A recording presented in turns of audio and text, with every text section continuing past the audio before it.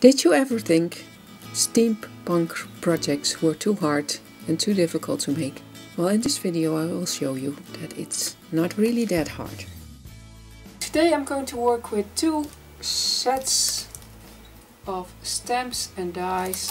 This is the one the butterflies and this is the one with keys. They're both by Craft Sensations and I brought, bought them at the Action. It's a local store in Holland, like a dollar store.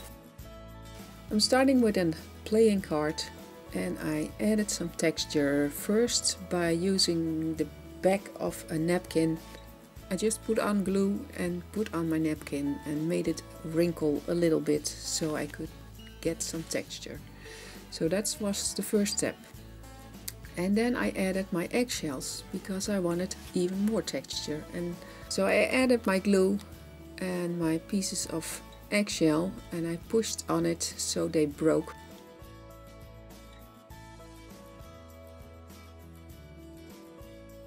So I'm coloring my tag with some bright colors, a green and a blue. Just very random. This is just playing and just having fun. So it doesn't need to be perfect.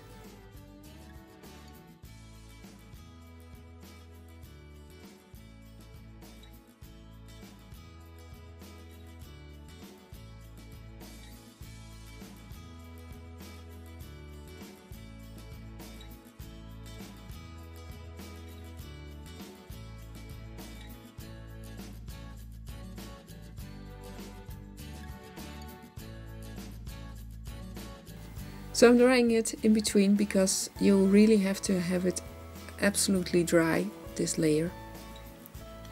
And then I put on my black layer. So this is actually a bit scary that you put on all these beautiful colors and then rub all this black on top of it.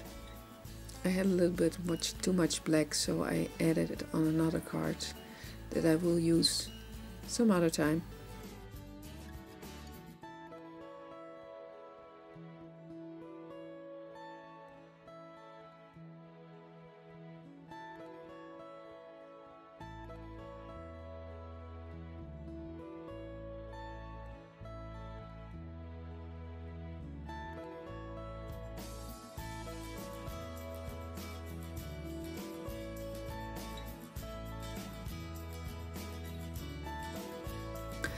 And I'm taking out a baby wipe.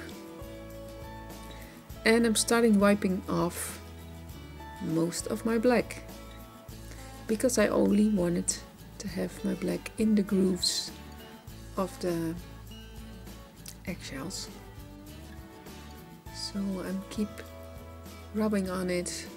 Not too hard because you don't don't want to get off the color or the, the eggshells and then I added a layer of uh, some golden paint.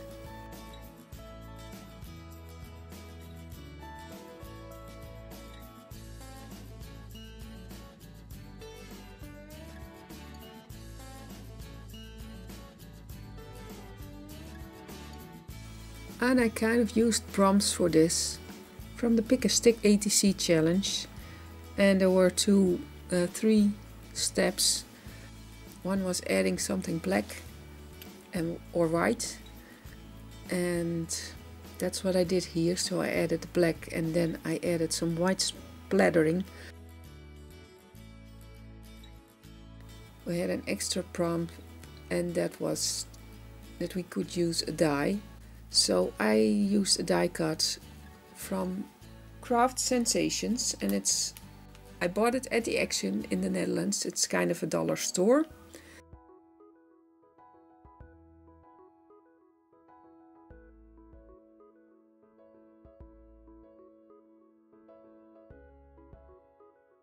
This is a stamp set that also has dies in it.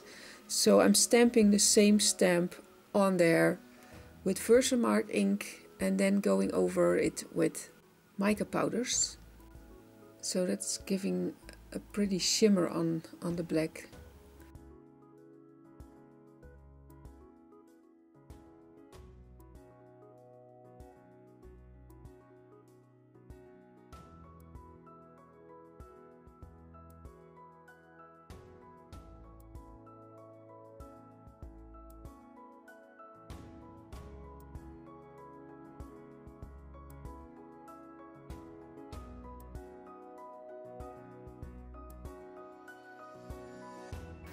And then for the next one, it's another set also from Craft Sensations by the Action.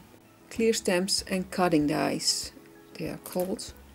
I also stamp that one with Versamark ink and then going over with a bronze colored mica powder.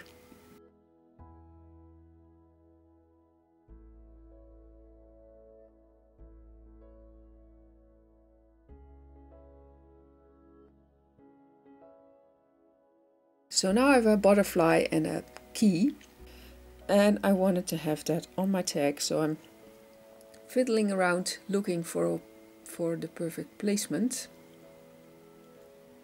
And then I think I don't want it sticking out so I'm turning my tag and I'm happy with how it is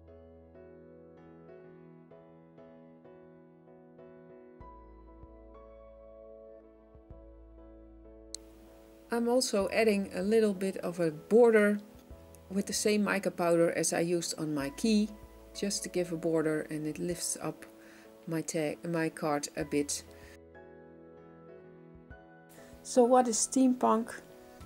Steampunk is actually a sort of a mix of things. It's science fiction and fantasy and technology, industrial, steam powered stuff so there are a lot of gears and parts of machinery, but also balloons, uh, airships, and it's kind of in the beginning of 1900 and it's adding stuff together that doesn't belong together. So it's it's odd. Actually you can do a lot of things and call it steampunk. The steampunk effect is, is also in the colors. Uh, it's mostly darker colors so thank you so much for watching. Have a wonderful day and just try it out yourself. Steampunk. It's not that hard. Thank you so much. Bye bye.